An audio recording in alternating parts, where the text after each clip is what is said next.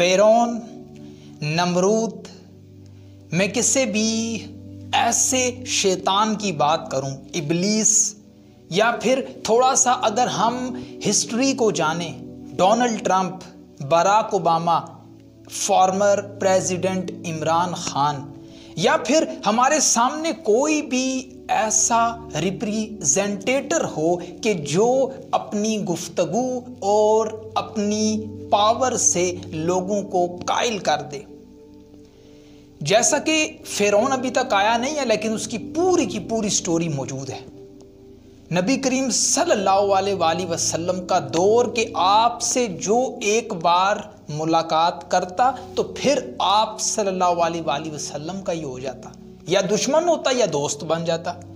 यानी कि वो अट्रैक्शन इतनी स्ट्रांग थी कि जो देखता तो बस वो देखता ही रह जाता। माय डियर फ्रेंड्स लेकिन अगर आपके साथ में एक एक ऐसी ताकत शेयर करूँ ना कि जिसने ये क्या बोला? जिसने बोला कि हर चीज़ फना हो जाने वाली है। लेकिन सिर्फ़ एक जात फना नहीं हो सकती। एक जात ना सो सकती है। एक ऐसी जात के जिसकी ताकत इतनी वसी है कि हम सोच ही नहीं सकते, क्योंकि उसने जो ताकत हमें दी है, वो भी उसकी अनायत है। अल्लाह ताला।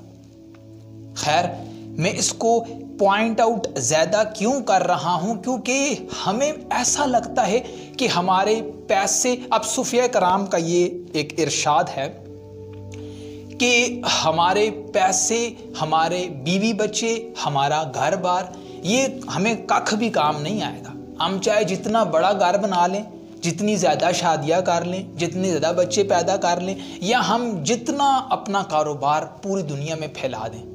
हमें एक ना एक दिन ये सब कुछ समेटना नहीं है, बल्कि हमें छोटी सी ज़मीन में गड़ जाना है, दफन हो जाना है। अगर काफरों का थोड़ा कॉन्सेप्ट शेयर करूँ या नॉन मुस्लिम्स का तो वो कहते हैं कि बस बंदा मार गया तो मार गया। बंदा मार गया तो कहानी ख़त्म, कोई हिसाब किताब नहीं, या बेसाबा काम करो तो हिसाब ही ना हो ये सारी गलत गलाने।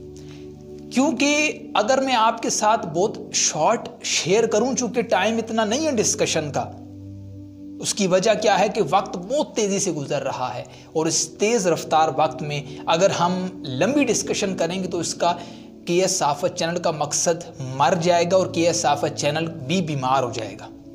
मैं आपके साथ अपने बिल्कुल आखिरी ख्याल शेयर करूँ तो जब हम ये मानते हैं कि हाँ यकीनन हमें एक ना एक दिन उस रब के पास ज़रूर जाना है कि जिसने हमें पैदा किया।